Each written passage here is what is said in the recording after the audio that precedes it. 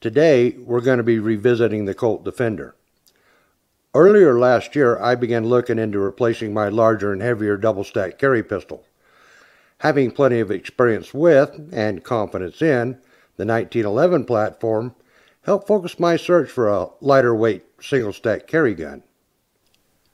The Defender is definitely not one of those heavy steel frame 1911s other firearms manufacturers have chopped the barrel down on and tossed into the compact carry arena. Colt designed the Defender from the ground up to be a high quality, lightweight carry pistol. The Defender's reputation for being a dependable and accurate lightweight compact with excellent sights met all the criteria I'd set for a new carry gun.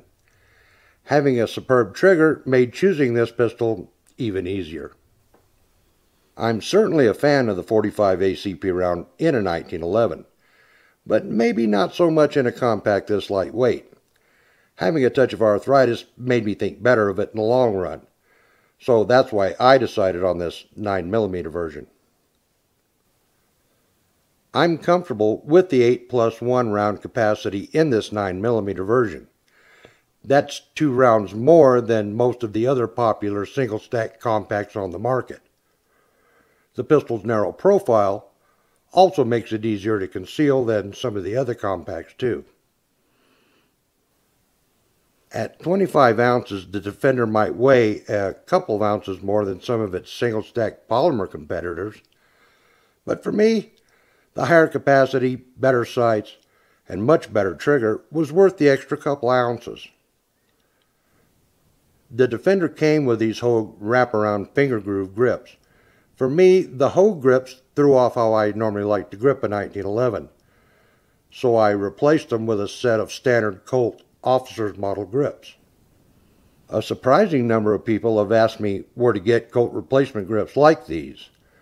For those of you who don't have a well-stocked firearms dealer nearby, I generally suggest eBay. You're as likely to find a set there as anywhere.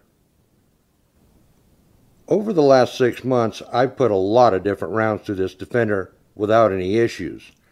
I've never fired any of the cheap steel-cased ammo in it, so I can't comment either way about that ammo. As far as defense ammo goes, I like the Hornady XTP rounds. They run just fine in this Colt. I also reload using these same bullets, and the Defender runs my reloads just as well. So this is what I'll be sticking with for carry ammo. Although I normally carry inside the waistband, I did find an outside the waistband holster that I particularly liked.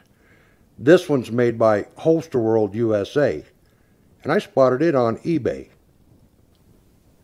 This holster has a nicely tooled upper guard that helps protect the pistol from the rigors of carrying outside the waistband, and I really like that.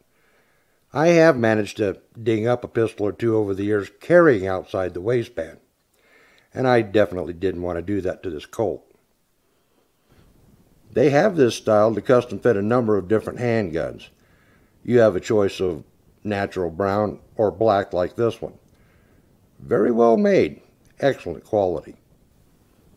This holster offers outstanding protection and it looks really nice while doing it for under $50.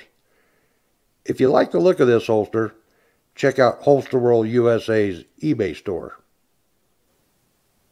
The only thing that really worries me is that my wife's taken a particular fancy to this little Colt. And in the long run, that usually has a predictable outcome. I suppose buying another Defender wouldn't hurt my feelings all that much. Maybe I'll get her the Night Defender. It comes with tritium night sights. I have no doubt she'd like that. Anyway, I just wanted to revisit this Colt Defender now that I've spent a little more time with it. There's a few more details about it in my original closer look video, if you haven't seen it. So if you've a mind to, feel free to check out that video. That about wraps things up for today. It's time for me to load up some fodder for these ponies. Until next time, practice often, shoot straight, and thanks for stopping by.